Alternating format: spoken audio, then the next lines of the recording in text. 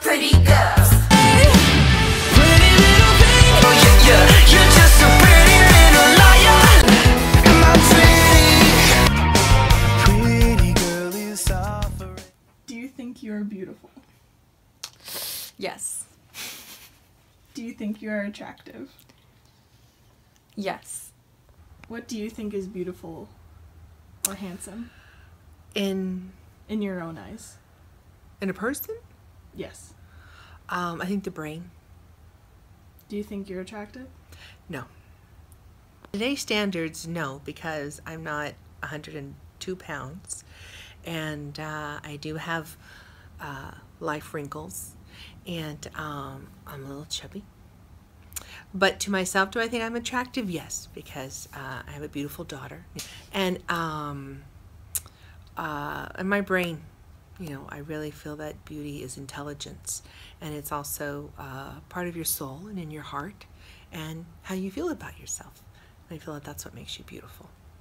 In a person, what do you think is beautiful Oh, or in a handsome person. in a person? Their personality.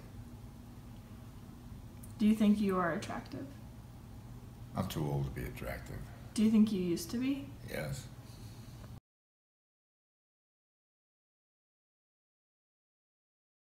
Romania, Mexico, and Egypt. Italy, Sri Lanka, and Ukraine. Um, I chose Romania and Spain and Mexico, Greece, Indonesia, and Morocco. Uh, Serbia, Egypt, and Mexico was the first, and Italy, Greece, and the United Kingdom was the second.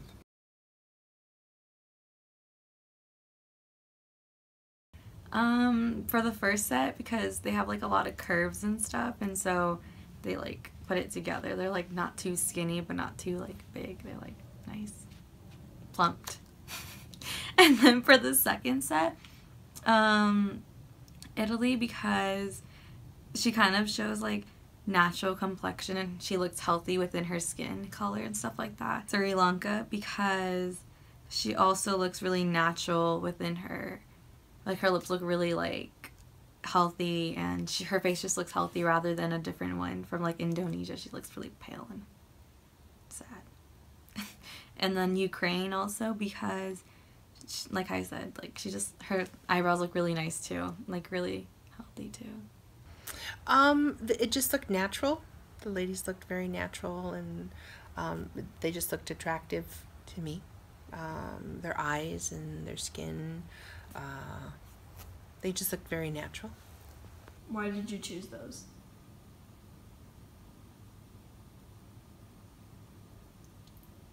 What about them stood out to you then? Not much. Um, I, I, I don't think I could tell you. Uh, it was more of a gut decision rather than a cerebral decision. I couldn't tell you specifically because they all look very much alike. And there's just subtle differences, and I'm not sure what those subtle differences were that caught my attention. Even even looking at them again, I couldn't uh, I couldn't tell you. That's probably not of much help, is it?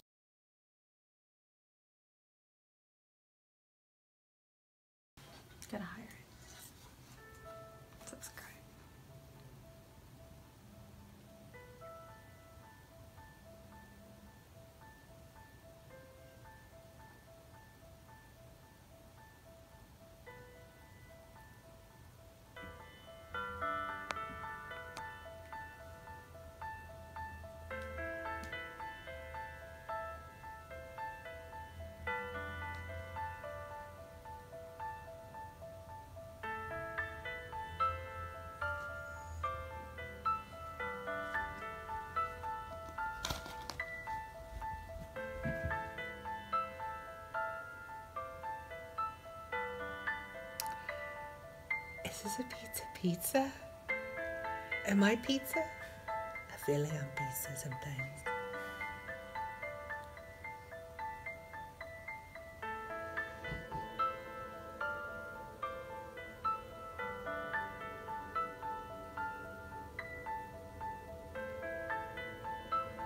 That's crazy. Oh my gosh. Now I'm hungry.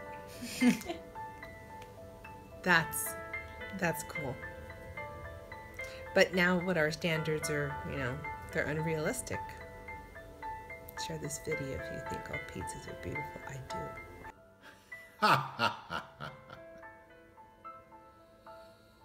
Oh, Oh my god, she's topless.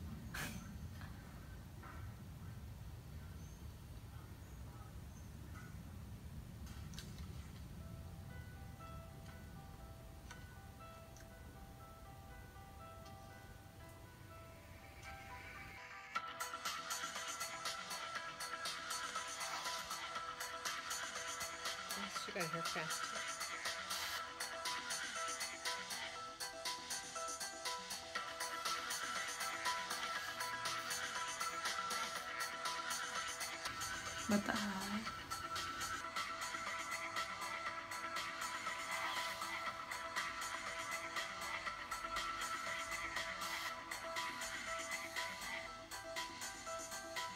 Feels like a Barbie doll now.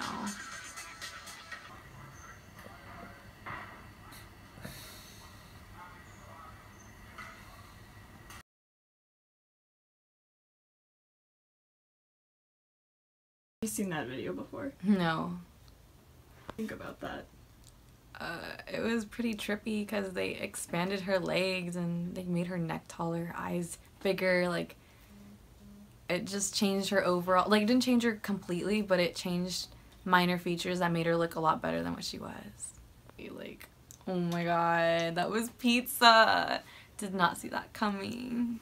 Have you seen that video before? No, it's my first time seeing it. What the heck? It's like beautiful or whatever, but not like that. I've never seen that video before. That was just shocking. A piece of pizza and it made me hungry.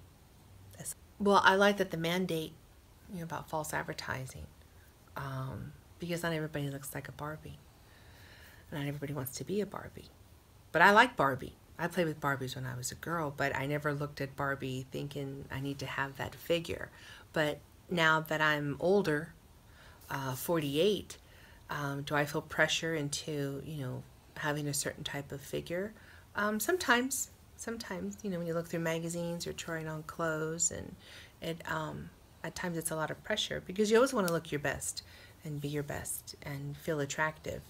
And, um, but if, you know, magazines and television and uh, people who influence um, society today uh, have this this image that we're never going to achieve unless if we have 80 grand in the bank to redo our nose and our cheeks and our hair.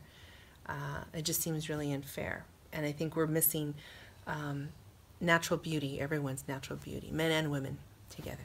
Have you seen that video before? no. What do you think about that? Well, it, it's done all the time. It, those alterations of of women to make them look like something that they don't look like in real life, and and then that raises the expectation of young girls to look that way and to reach this artificial perfection that uh, that they're confronted with day in and day out in all the media, and they feel uh, self-conscious. Many feel self-conscious when they they can't uh, they, they, they don't feel that they embody the same kind of beauty that they're seeing in print and in other media. Since you're in the industry, do you think that this should continue at this extent of almost everything being photoshopped or changed? Should it continue? Yeah. No, but but it will.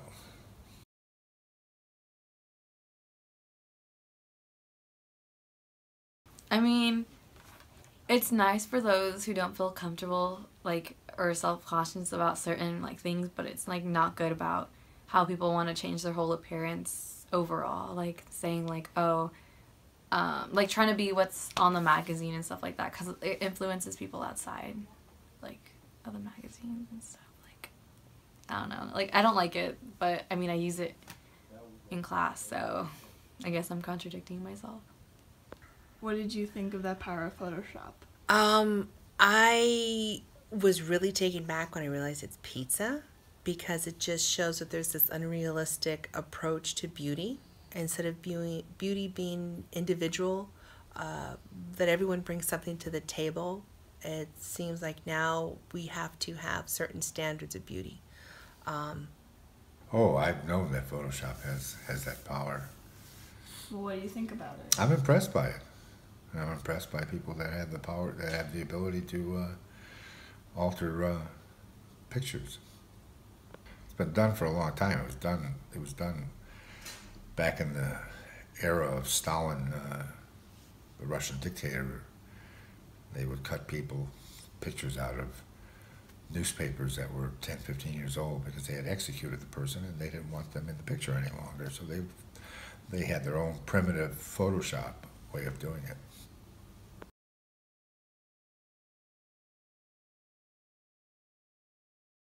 Or I had you rate three, like most beautiful pictures from each set, but these are the original pictures. Wow. So they photoshopped all of them different ways. oh, well, see, I think I think they're attractive. You know, Do you want to renumber your sets? no, I don't.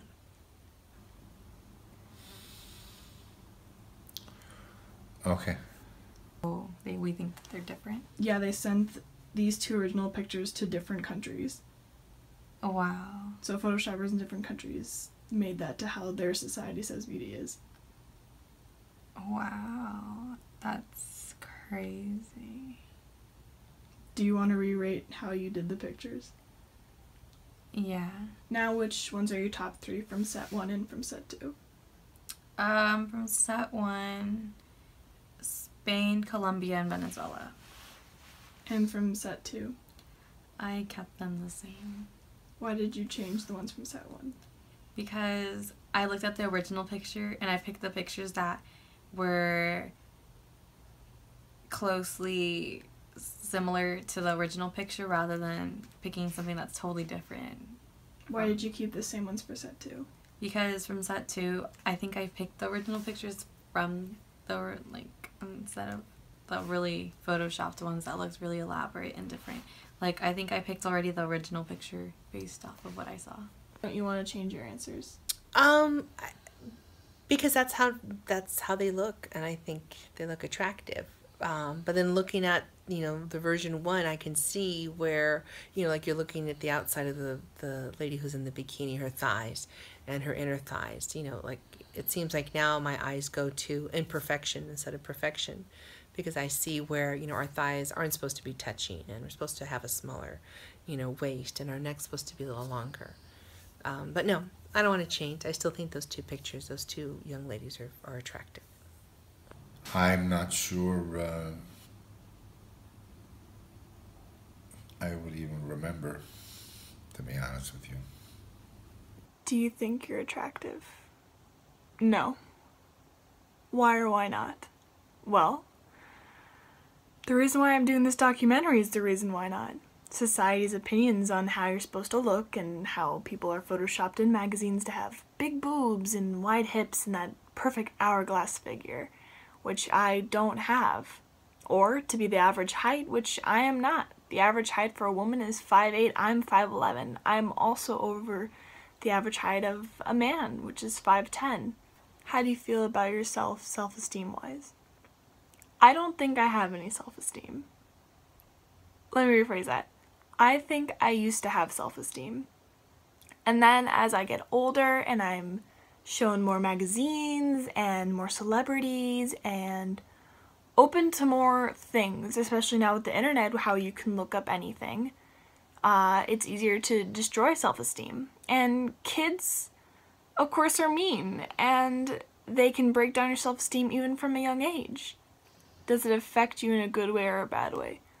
My self esteem affects me in a bad way. Um, I have depression. I've had it since freshman year, so I've had it for two years. Um, I hated myself so much that I would cut. And I, of course, would hide the scars. So my self esteem was destroyed so much and it made me hate myself so much that I physically harmed myself because I thought I wasn't good enough. Has the standards of beauty caused you to change? Yeah, it has caused me to change. Um, to buy tighter clothes and get that double cup push up bra at Victoria's Secret. Uh, and seeing the Victoria's Secret models and how curvy they are and how nice their boobs are and even the little details of how nice their hair looks and makeup and all these different things that sure do come with age like how you get older and you can fix the way you look but at 16 already deciding that I hate myself is kind of pathetic compared to society, I don't know, 40 years ago when girls probably didn't feel this way of of wow, I'm not good enough for this. How does society affect you? Well, society affects me in a bad way. That's why I'm doing this documentary on the standards of beauty. During my research, I found that there's this thing called the golden ratio rule. It basically means your attractiveness is based off of the proportions of your face. The more proportionate you are, the more attractive you are. But this is proven not to really be true. There's this old documentary that also does standards of beauty, but it's more primitive in the way it goes about things, like how our primitive brain, detects the things that we find attractive. For example, they had to they had women walk on a treadmill. Some of them asked as if there was an attractive man walking past them. How would they walk? Well, they shook their hips more. That is the primitive brain suggesting that is more attractive. He needs to change and be more accepting and not so demanding about how life should be. Especially towards women, we shouldn't be so demeaning and judgmental. God forbid someone actually puts on makeup and tries to look good and feel good about themselves. The fact that many women don't like themselves, for example, in my case, how I developed depression because of the hatred I felt from society and from other people. That shouldn't be happening. Our society should be filled with love and acceptance, not hatred. Maybe